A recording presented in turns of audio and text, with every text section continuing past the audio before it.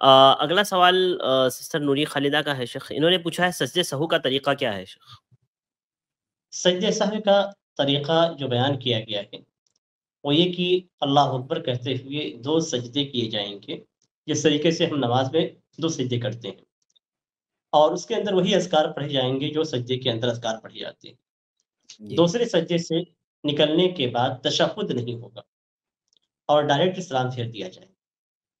यानी पहले अल्लाह अकबर करेंगे, सजदे में जाएँगे सजदे की दुआएँ पढ़कर अल्लाह अकबर करेंगे, फिर बैठेंगे, फिर बैठने की जो दुआ है जिल्सा की, उसके बाद फिर सजदा करेंगे, सजदे की अल्लाह अकबर कहते हुए सजदा करेंगे और फिर सजदे की दुआएँ पढ़कर फिर अल्लाह अकबर कह के बैठेंगे, तो फिर तशहुद या तहियात नहीं पढ़ना है, सीधे आपको दाएँ और बाएँ जानिब सलाम कर देना है।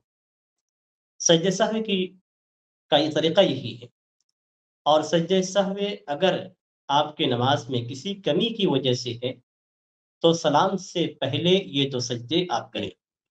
तशहुद के बाद और सलाम से पहले।